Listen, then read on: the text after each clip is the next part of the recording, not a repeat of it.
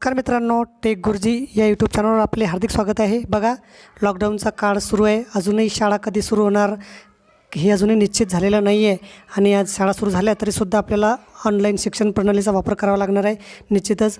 आणि e learning वार्षिक नियोजन जे आहे ते तयार आहे. ते फक्त आपल्याला एका क्लिकवर उपलब्ध आहे. त्यासाठी व्हिडिओ संपूर्ण बघा.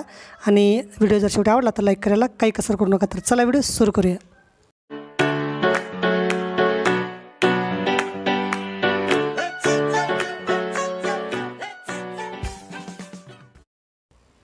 तर बघा सर्वप्रथम आपण आपल्या मोबाईलचं क्रोम ब्राउझर ओपन करा आणि क्रोम ब्राउझर ओपन केल्यानंतर व्हिडिओच्या खाली डिस्क्रिप्शन बॉक्समध्ये जी लिंक दिलेली आहे ती लिंक इथं आपल्याला पेस्ट करायची आणि ती लिंकनंतर ओपन करायची. आहे आम्ही तंत्रस्नेही शिक्षक ब्लॉग स्पॉट अशा प्रकारचा आमचा एक ब्लॉग आहे. त्या ब्लॉगची ती लिंक आहे.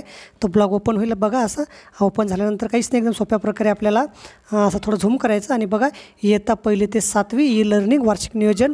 येता पहिली ते सातवी ई लर्निंग वार्षिक नियोजन. प्रत्येक विषयाचे मायवार घटक नियोजन दीक्षा कंटेंट लिंकसह आणि याच्यामध्ये बघा येता पहिली दुसरी तिसरी चौथी पाचवी सहावी आणि सातवी.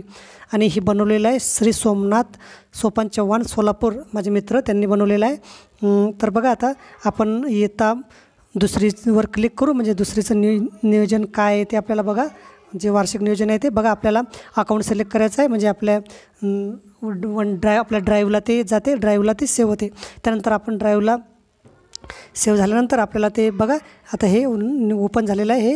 हे एकूण तर बघा आता याच्यामध्ये तीन पेजेसचं आहे. हे याच्यामध्ये आपल्याला विषय गणित आहे. नंतर हे- याला लिंकसुद्धा म्हणजे दिलेल्या आहेत. म्हणजे ऑनलाईन प्रकारचं हे ई कंटेंट आहे. त्यामुळे याच्यामध्ये व्हिडिओच्या लिंक दिलेल्या आहे दीक्षा ॲपच्या लिंक दिलेल्या आहे आणि आपल्याला हे डाउनलोड करायचं आहे. तर इथं क्लिक करायचं आणि हे डाउनलोड ऑप्शनवर आपण जाऊन ते डाउनलोड आपण करू शकतो. म्हणजे आपल्याला ई कंटेंट हे वार्षिक नियोजन एका क्लिकवर आपल्याला उपलब्ध आहे. त्यासाठी व्हिडिओ बघा आणि व्हिडिओच्या खाली डिस्क्रिप्शन बॉक्समध्ये जी लिंक दिली आहे त्या लिंकवर क्लिक करा आणि हे नियोजन तुम्ही डाउनलोड करा.